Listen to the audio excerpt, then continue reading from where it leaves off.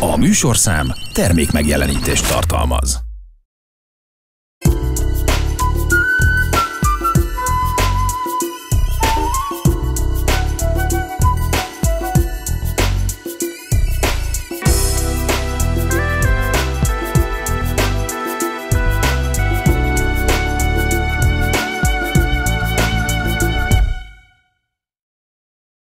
Szép estét kívánok, köszöntöm kulturális magazinunk a Paletta nézőit szeptember 20-án kedden 17 óra 20 perckor. Mai adásunkban a koronázási játékok utolsó darabjáról láthatnak egy összefoglalót. Tartsanak velünk!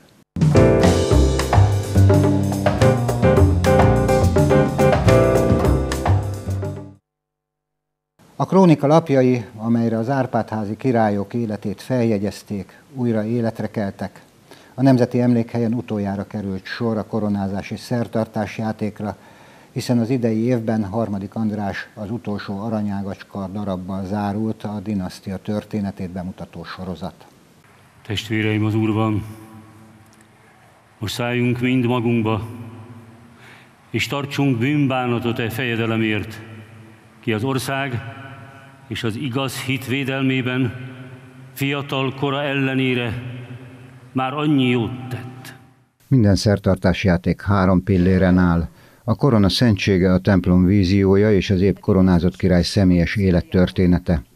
Az idei király legenda az aranyágacska az utolsó Árpádházi király harmadik András történetét dolgozza fel. Második András unokáját egy nagyon komoly problémákkal küzdő országba hívják haza.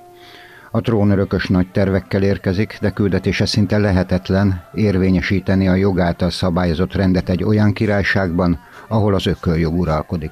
Az utolsó koronázási játékok a Nemzeti Emlékhelyen egy összegzés. Én azt gondolom, hogy ez rendkívül fontos a magyar államiság szempontjából, ez a 300 év, ez a visszatekintés, és, és fontos azért is, mert megerősítést nyújt a Székesfehérvárra látogatóknak, Szent István városában, az Aranybulla emlékévben is Harmadik András sorsa, az utolsó aranyágacska, úgy tetszik.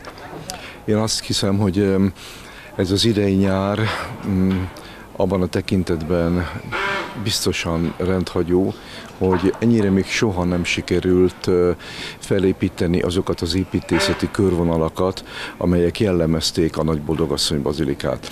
Mi tíz évvel ezelőtt, amikor elkezdtük ezt a szertartás játékot, akkor a koronázás rekonstruálásán és a királyok élettörténetének bemutatásán kívül feltett szándékunk volt, hogy ezzel a, ezen a murvával beszórt területen a művészet eszközeivel teremtsünk minden évben egy olyan illúzióvilágot, amivel ha, ha csak néhány napra is, de tudjuk érzékeltetni, hogy milyen hatalmas, milyen impozáns keretek között zajlott a koronázás, és hogyan is nézett ki a középkori Magyarország szakrális középpontja.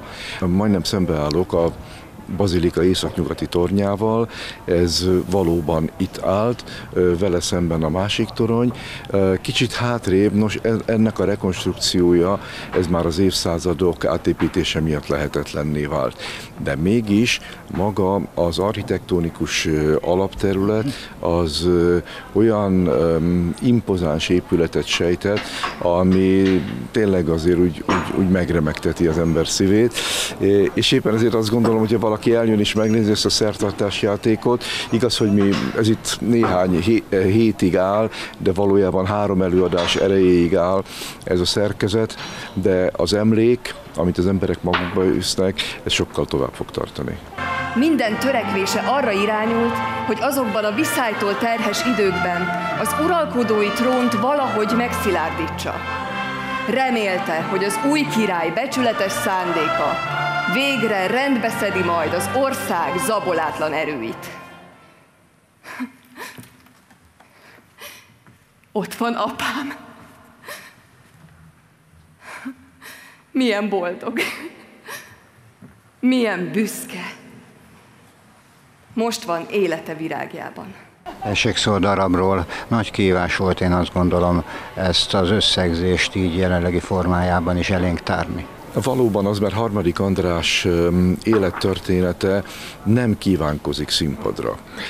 Az élettörténete rendkívül bonyolult, összetett és tele van prózai adatokkal. Noha maga az élet egy dráma, egy, egy korán a küldetésébe belefulladó embernek a drámája, de mégis ez az élet építkező élet. Tehát amikor harmadik András átveszi az uralkodást, akkor elkezd építkezni a jog erejével, a törvény erejével, próbál rendet csinálni ebben az országban.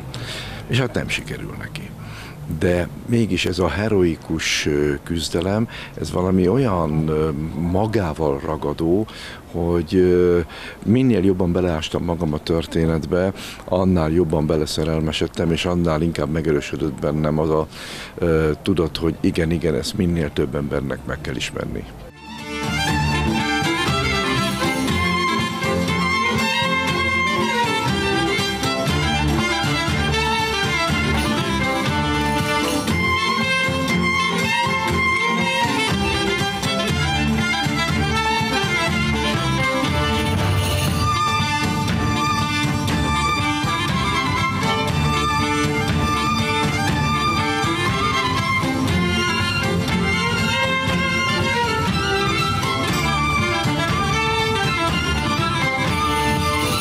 Horváth Csaba koreográfusként is gondoskodó tiszteletteljes szakmaisággal hozta közelebb a történetbe beágyazott mozgásformákkal a királyi utakat a közönséghez. Úgy lehet részben méltósággal, részben pedig értelemmel megszerkeszteni ezeket az előadásokat, hogy, hogy mindig túl a magasztosságon, de mindig azért a, a, a történeteknek az érdekességei vannak előtérben, tehát azok kapnak hangsúlyt, és én azt gondolom, hogy hogy az emberek, akik ezt eljönnek megnézni, ezek ö, ö, nagyon részben érdeklődnek a történelmi iránt, de, de kapnak meglepetéseket ezekben a, ezekben a, vagy ezeken az estéken. Tehát ne, én nekem magamnak is, bármennyire utána olvasok egy-egy Árpádházi király történetének, de ahogy ezek az előadások szerkesztve vannak, mindig van, mindig érint valami, valami váratlanul, illetve mindig van benne valami meglepő, amin én is csak csodálkozom, hogy jé, ezt se tudtam, azt se tudtam.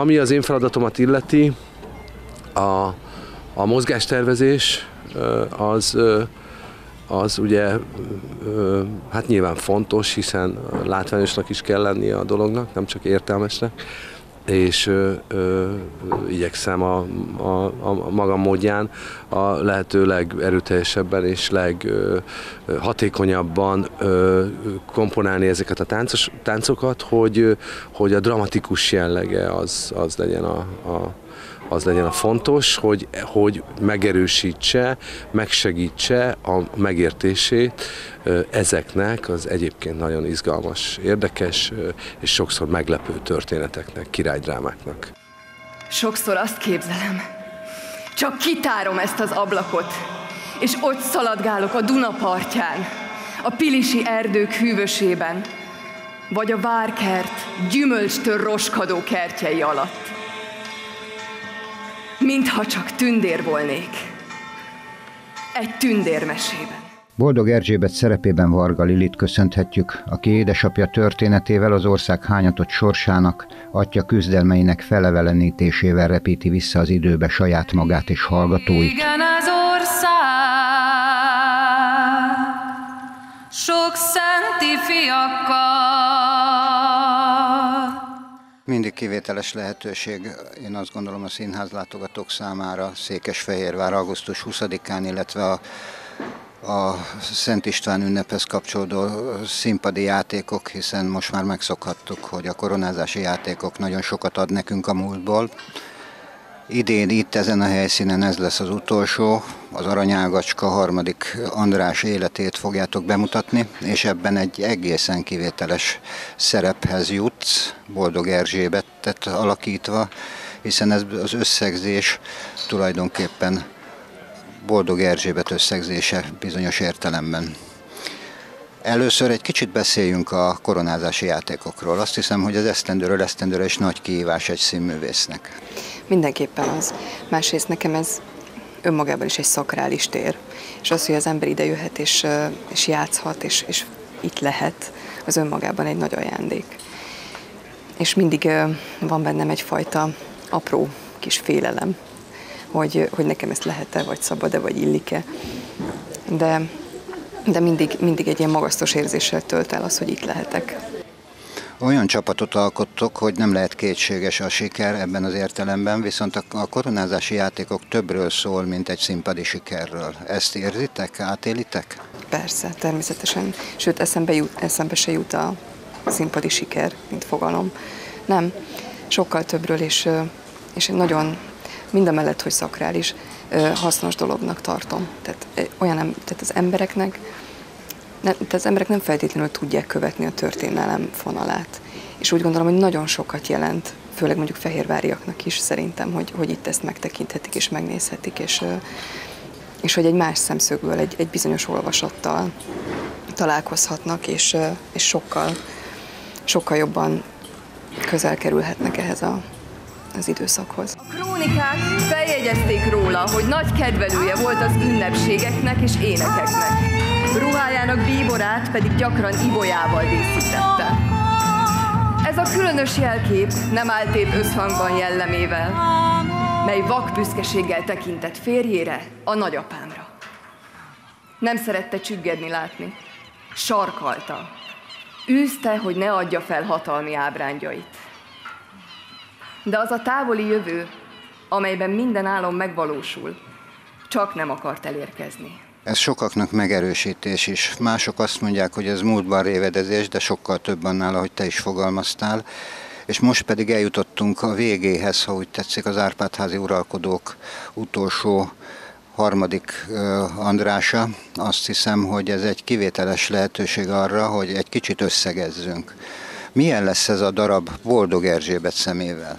Izgalmas, nagyon izgalmas. Én például nem is, tehát nem tudtam ennyi mindent harmadik Andrásról és erről a korszakról, szóval ez nekem is új élmény volt, és, és jó volt ennek kicsit utána nézni, kicsit, kicsit belemélyedni, és, és nagyon, hogy is fogalmazzak, nekem hatalmas kihívás az, hogy egyrészt az emberek és a nézőink is megszokták már Mihály Győzőt, mint narrátort, és mint aki, akinek a szeméből, szemével látjuk az egészet, és én is még, mikor elkezdtem olvasni a szöveget, így hallottam a győző hangját, hogy milyen lenne, mintha ezt ő mondaná. És az érdekes, hogy magával Boldog Erzsébettel, harmadik András fiá, lányával, bocsánat, nem, nem foglalkoztak és nagyon sokan összekeverik az, a másik Erzsébettel. És, és én vagyok ugye a Tösszei Erzsébet a svájci kolostorból. Nagyon érdekes ez a nő, és magával ragadó. Ugyanúgy, ahogy nekem Margit is volt, Szent Margit. Igen, ezt szerettem volna visszahozni, hogy Szent Margit után Boldog Erzsébetet játszani, az egy egészen különleges feladat egy színész életében. Igen, és különösen azért, mert most ő mindent összegez és ami ebben a, a darabban kevésbé hangzik el, de hogy, hogy ő érte is versengtek férfiak. Őt is el, el akarták jegyezni, és ő is kibújt ez alól, és ő nem akart báb lenni, nem akart politikai játszmák részese lenni, és, és, és, és ő is azt mondta, hogy azt az életet választom akkor, amit Margit és Erzsébet kényszerítették is rá, de utána ezt választotta, és elszakadt, mind, tehát megszakított minden kapcsolatot a környezetével és a rokonaival. Mindet. És ez a visszaemlékezés, onnan indulunk, hogy ő egy zárda ablakából tekint ki, és visszagondol a gyerekkorára. És hogy most pont nem a, nem a, a kérőkre, és nem, nem erre az egész őrületre, hanem a gyerekkorára is. És ő nagyon szerette az apját és az anyját szerintem. Nagyon szerette őket. Akarod-e a szent hitet, melyet hívő férfiak adtak át neked megtartani, és igaz módon megőrizni. Akarom. Akarsz-e a szent egyházaknak és az egyházak papjainak védője és oltalmazója lenni? Akarok. Akarod-e az Isten által neked átengedett országot kormányozni és védelmezni? Akarom. A szakrális színpadon megelevenedő koronázásba ágyazott élettörténet a történelmi háttér és a korszak bemutatására is nagy hangsúlyt fektet. A trónviszályoktól hangos hanyatló országba a birtokhalmozó főurak hatalomvágyának keresztüzébe érkező harmadik András egy olyan országot, egy olyan uralkodói szituációt örökölt, amelyben nagyon nehéz volt sikeresnek lenni. Jánossal arról beszéltünk, hogy az előző királyjátékban én voltam tulajdonképpen harmadik András elődje. Harmadik András miatt taszították le tulajdonképpen a trónról a mm, Kun Lászlót. Ő volt a megoldás annak, hogy Kun László többé ne uralkodjon. És azt mondta János, hogy azért képzeli velem, mert ez egy teljesen másik személyiség, mint ami a Kun László volt. Hogy ezért akarja velem megcsinálni. Milyen ez a személyiség, amit most megformálsz? Hiszen tudjuk, hogy az életpályája meglehetősen furcsa és kivételes, ha úgy tetszik. Tulajdonképpen nem izgatja az, hogy ő magyar király legyen.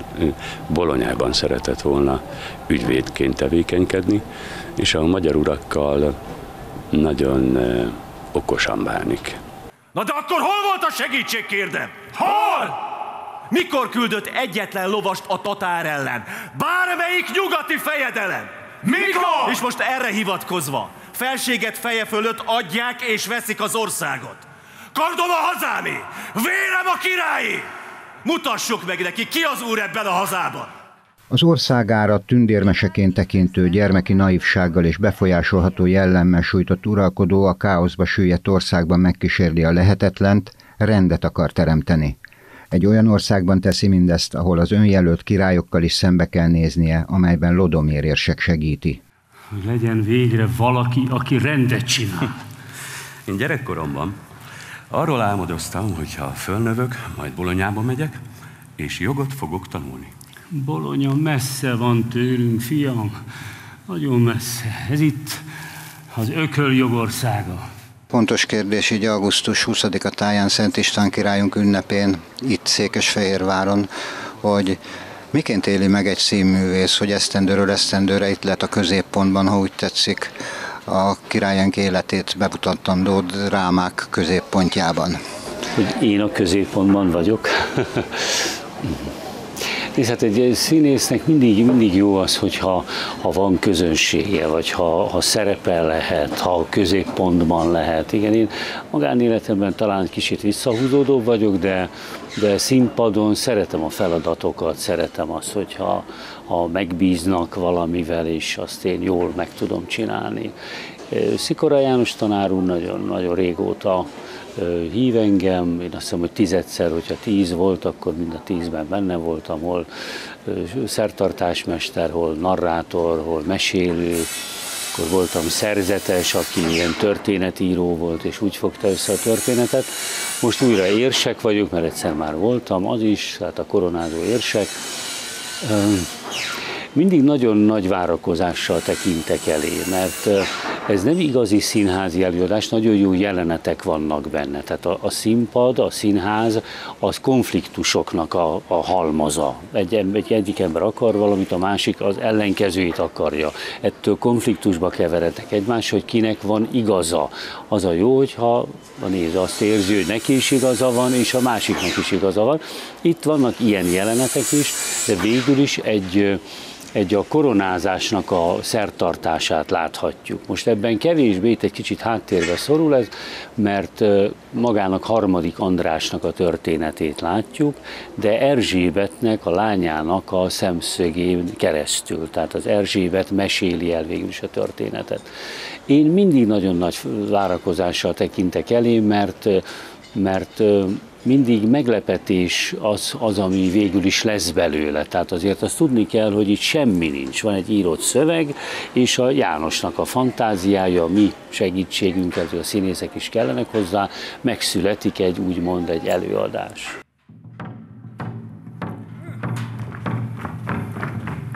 Boldog vagyok, atyám!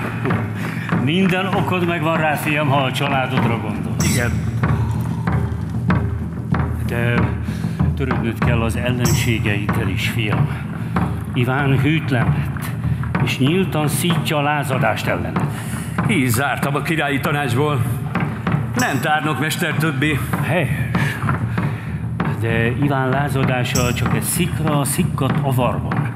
Bármikor fellángolhat az országos ellenállás. Á, a többség velem van. A többségnek nincs pénze, se hadereje. Ezért mondom, hogy adjunk nagyobb jogokat a városoknak. Ott vannak például az erdélyi szászok. Növeljük a városok önállóságát, kereskedjenek, kapjanak nagyobb jogokat, mint nálunk Itáliában. Hol felség? Mint Itáliában. De ez itt nem Itália felség. Ah, persze, mindig elfelejtem. Itt másként gondolkoznak az emberek. És felség, ha megbocsájt, azért még egy fiú nem ártana. Lázadás, amit Lodomér megjósolt, kitört. A kőszegiek az Anzsuk nevében rátörtek a királyi birtokokra. Ladomér érsek személye egészen különleges. Tehát maga az élete is egy példa arra, hogy mi minden történhetett a 13.-14. század elején, és hát nyilvánvaló, hogy ez egy rendkívüli megerősítést jelent, hogy a személyében te világíthatsz rá azokra az igazságokra és azokra a történésekre, ami harmadik András koronázását megelőzte. Miként éled ezt meg? hát ami benne van a, magában a műben, az érdekes számunkra, illetve az játszási anyag. Tehát az, hogy ő egy komoly bizalmasa Andrásnak, az, hogy ő vele különben mi történik, vagy különben mi történt történetileg, arra nem nagyon van igazából hely. Tehát elmondják, és aztán azt is, tehát hogy történetileg ő, ő hol állt és pontosan mit csinált, de itt ennyi történik, hogy kicsit lázadozó, mert azért a koronázási szertartásba belop egy olyan pontot, ami az ő érdekeiket, illetve az ország érdekeit szolgálja, és meg is esketi rá a királyt, ugyanakkor egy nagyon jó tanácsadója, tehát egy nagyon jó barátja, vagy viszonylag jó, vagy jó viszony van az uralkodó is közte, és én szerintem jó, jó úton haladunk ez ügyben. Ha általában kérdezem, akkor ez méltóság övezi a, ezt a fajta koronázási játékokat? Tehát tisztában vannak az emberek, hogy a visszatekintés nagyon fontos? Én azt hiszem, hogy igen. Azt hiszem, hogy igen, azt nem tudom, hogy emlékszel az, a kezdeti időszakra, hogy nem emlékeznél, én is emlékszem, hogy kevesebben voltak, mondjuk egy főpróbán. Tehát amikor ugye a környék lakóinak meg lehetett nézni, és aztán egyszer nagyon sokan lettek. Vagy elkezdtek menni nagyon a jegyek, mert az emberek szóbeszédben nagyon hiszek, hogy emberek elmennek a munkahelyükre, és azt mondják, hogy láttam, és nagyon jó volt, nézzétek meg, és ettől lett egy ilyen nimbusza ennek. Én szerintem igen, egy, egy komoly tartása van ennek az előadásnak. Miként invitálnád meg mindazokat, akik még nem döntöttek, hogy 19-én, 20-án és 21-én mit tegyenek? Azzal invitálnám, hogy nagyon érdekes dolgokat tudnak meg Harmadik Andrásról, Erzsébetről, arról a korról, és valahogy úgy fogalmazott a János, amikor olvasópróbánk volt, hogy mi ennek az Árpád háznak, harmadik Andrással van vége, őt már egy kicsit úgy azt mondja, hogy a történetírók már úgy veszik, hogy jó, mindjárt vége van, hát most mindjárt jönnek, azt hiszem az Anzsuk jönnek, és akkor egészen más világ jön, de hogy ezeknek az uralkodóknak köszönhetjük azt a Magyarországot, azt is, amiben ma élünk. Tehát a, múltunkkal tisztában kell lenni, azzal tökéletesen tisztában kell lenni, és nem csak történelem órában, hanem magunkban, hogy igenis ezeknek az embereknek köszönhetjük, ahogy ma élünk, ahogy ma élhetünk, hogy a kereszténységért és a fennmaradásunkért, a nemzet fennmaradásáért küzdünk. És szerintem ezért nagyon fontos megnézni, mert, a, mert harmadik András igenis az utolsó Árpádházi király, és ő ők teremtették meg ezt a, ezt a fajta Magyarországot, amiből aztán lett osztrák-magyar monarchia, meg sok minden, meg köztársaság lett, népköztársaság, aztán megint köztársaság lett, tehát nagyon sok minden, de ebben a két 200-300 évben abban teremtődött meg a gyökere ennek a, ennek a hazának.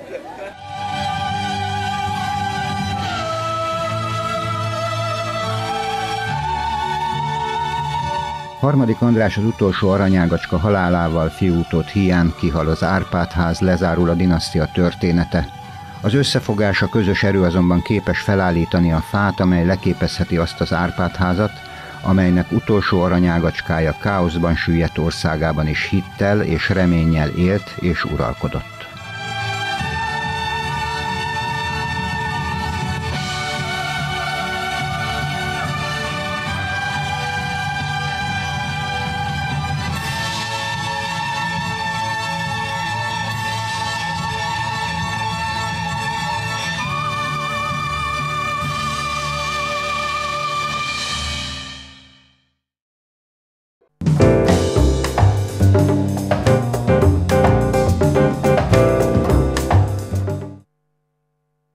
Kedves nézőink, köszönöm megtisztelő figyelmüket, találkozunk a jövő héten ugyanebben az időpontban, ugyanitt.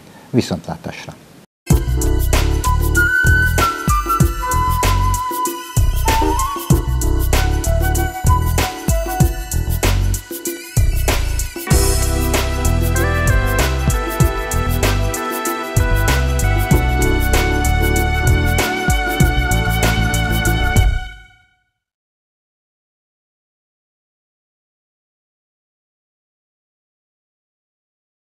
A műsorszám termék megjelenítést tartalmazott.